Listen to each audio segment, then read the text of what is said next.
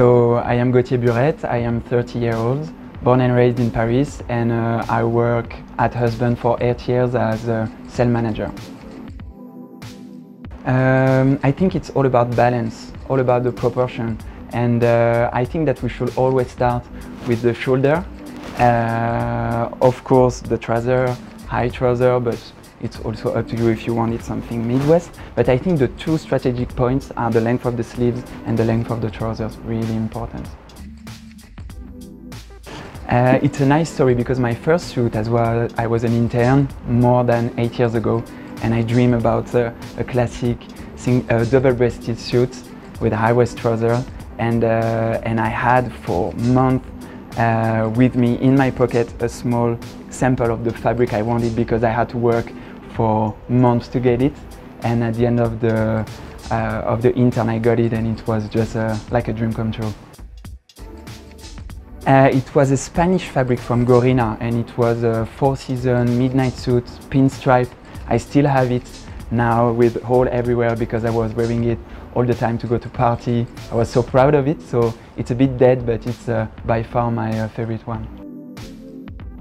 I think it's my boots, never without my boots, so I just love them and uh, all the time with me.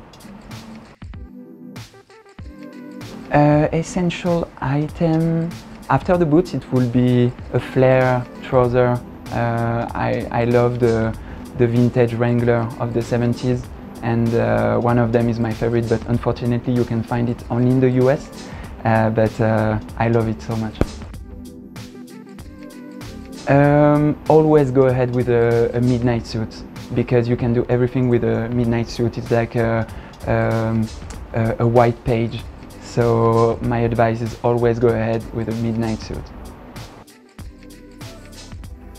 I'm so I'm just I, I, I ah, uh, okay. I'm kind of conservative with the color, so it will always go with uh, gray, blue, kind of boring things. But I think that's for me it's the the only way to have fun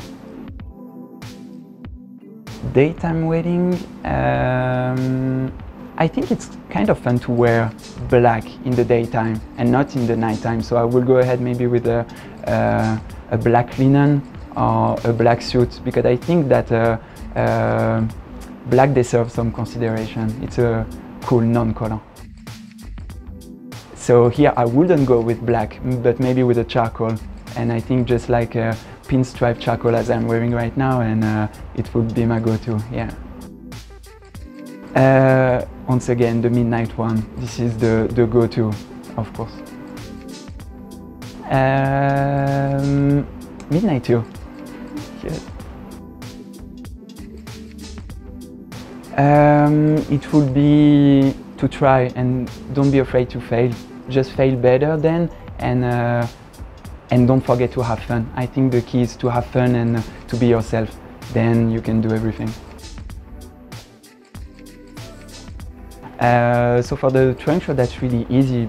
Um, basically, we have uh, ready to wear and made to order. So the point is to meet the customer all around the world, to take the measurement and uh, to, to check what we can do all together. So I, yeah, I hope to, to see you very soon and uh, thank you for watching.